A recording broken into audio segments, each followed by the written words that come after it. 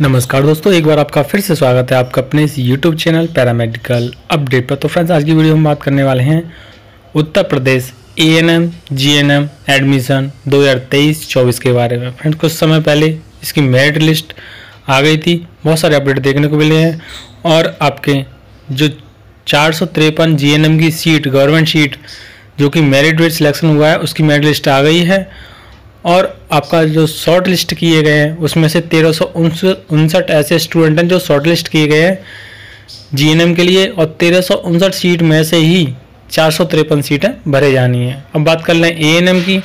ANM में अठारह सौ सीट गवर्नमेंट है, जो कि मेरिट बेस पर भरी जानी है और इसकी जो मेरिट मेरिट लिस्ट आ गई है, इसमें सत्ताईस सौ स्टूडेंट को शॉर्ट लिस्ट किया जाएगा। तो सत्ताईस सौ स्टूडेंट में से ही 1800 सीटें ए की भरी जा रही हैं। अलग अलग श्रेणी में अलग अलग कैटेगरी में में इसका, जो सीटों का विभाजन है, वो किया गया है।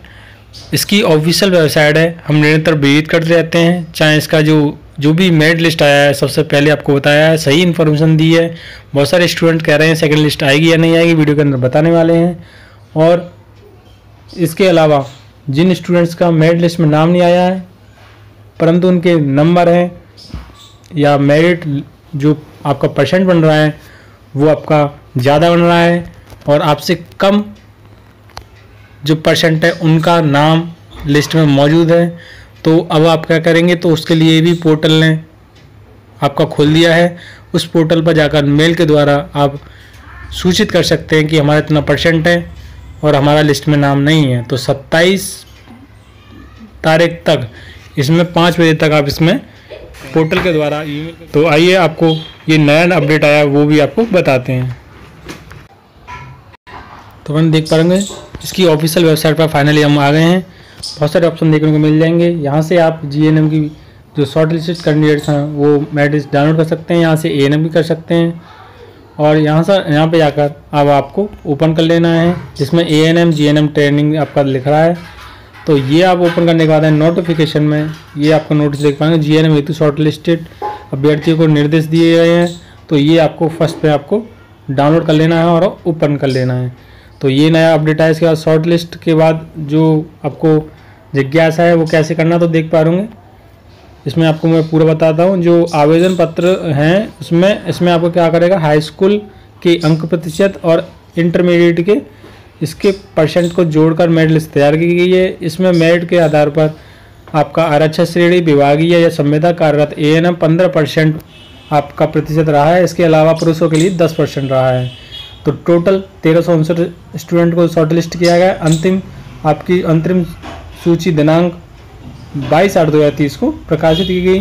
और शॉर्ट लिस्ट अभ्यर्थियों को के प्रमुख, सम्मुख कॉलम के मेरिट लिस्ट यानी कि स्टेट रैंक, मूल श्रेणी प्रशिक्षण हेतु, अभिलेखों के आधार पर लागू श्रेणी क्षैतिज आरक्षण की श्रेणी तथा विभागीय या संविदा पर कार्यरत ए का भी विवरण प्रदर्शित है। उत्तर प्रदेश में विभागीय संविदा पर कार्यरत हेतु ए एन एम हेतु पंद्रह परसेंट व पुरुषों के लिए दस परसेंट सीटों का आरक्षण है और आपका जो शेष है पचहत्तर परसेंट अन्य महिला इस सीटों पर आपका मेरिट लिस्ट के आधार पर आपका शॉर्ट लिस्ट किया गया। विभिन्न श्रेणियों की श्रेणियों हेतु मेरिट लिस्ट न्यूनतम कट ऑफ़ का विवरण भी उपलब्ध है। तेरह सौ उनसठ शॉर्ट लिस्टेड अभ्यर्थियों की अंतरिम सूची है। चार सौ तिरपन अभ्यर्थियों का प्रशिक्षण केंद्रवार अंतरिम सूची निर्गत की जाएगी। यानी कि जो शॉर्ट लिस्ट है, तेरह सौ उनसठ उसमें से आपका चार सौ तिरपन अभ्यर्थियों को सीट मिलेगी और जो शेष रहेंगे छः नौ सौ छः अभ्यर्थी, वो वेटिंग लिस्ट में डाल दिए जाएँगे। जो और नहीं जाएगा, उसमें से तो उनको मौका दिया जाएगा 906 स्टूडेंट में से। आगे हम बात कर लें कि उपरोक्त के क्रम में अभ्यर्थियों से अपेक्षित है कि वे सूची में प्रदर्शित अपने विवरण का अवलोकन कर लें। शॉर्ट लिस्टेड अभ्यर्थियों तथा अन्य आवेदनकर्ताओं को यदि अंतरिम सूची से संबंधित संख्या या जिज्ञासा है तो पोर्टल पर अपनी जीएनएम पंजीकरण संख्या के माध्यम से लॉगिन कर अवगत करा सकते हैं। यह सुविधा पोर्टल के दिनांक 27 की शाम पाँच बजे तक उपलब्ध रहेगी। पोर्टल पर अंकित संख्या जिज्ञासा का संज्ञान लेते हुए नियमानुसार चार सौ तिरपन अभ्यर्थियों की आपका सिलेक्शन किया जाएगा, यानी शॉर्ट लिस्ट किया जाएगा। और इसमें एक बात और थी कि 25 और 26 अगस्त को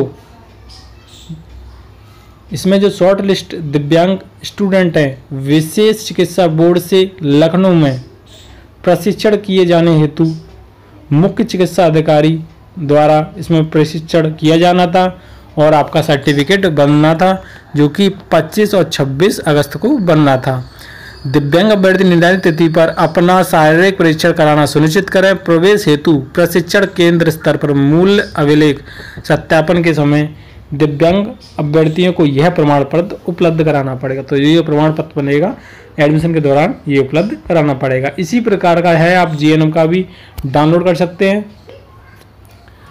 तो देख पा रहे हो यहाँ से आप जीएनएम का है, इसके नीचे एएनएम का तो ई का भी इसी प्रकार डाउनलोड कर सकते हैं। अब बात आ गई ए एन एम हेतु, आपके कोई अंतिम सूची से कोई संख्या, जिज्ञासा तो इस पर आपको यहाँ पर क्लिक कर देना है। जैसे आप क्लिक करते हो, देख पा रहे एन एम प्रशिक्षण दो हज़ार तेईस अंतरिम सूची से संबंधित कोई संख्या होती है तो उसे लॉग इन करें। यानी ए एन के लिए अगर आपको कोई डाउट है, जैसे कि मैंने बताया तो यहाँ पर आपको रजिस्ट्रेशन नंबर दिया होगा। तो रजिस्ट्रेशन नंबर आपको यहाँ पे डालना है और पासवर्ड के साथ में आपको लॉग इन कर लेना है। लॉग इन करने के बाद आपको जो प्रॉब्लम आ रही है, जो आपके परसेंट हैं, उसके आधार पर आपको शॉर्ट लिस्ट नहीं किया गया तो वो आपको पूरी बातें लिखनी पड़ेंगी। यहाँ से आप पूरा सबमिट कर देना है। तो आपको ये अपडेट देनी थी। अगली अपडेट क्या आएगी? साइट पर पता चल जाएगा कितने स्टूडेंट्स को शॉर्ट लिस्ट यानी कि पहले बार में बुलाया जाएगा। एक से लेकर सौ रैंक स्टेट रैंक वालों को बुलाया जाएगा, कितने को बुलाया जाएगा? सारी अपडेट आपको मिलती रहेंगी चैनल पर बढ़ रहना। Thanks for watching